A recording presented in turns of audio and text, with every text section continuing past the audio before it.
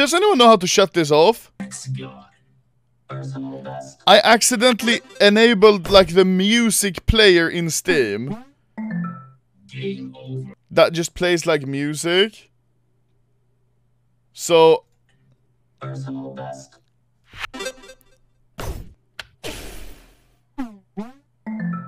Game over. Go. Level up. Open go. how do I turn it off? There, music player. Oh my god, I'm so fucking smart. Thank you guys.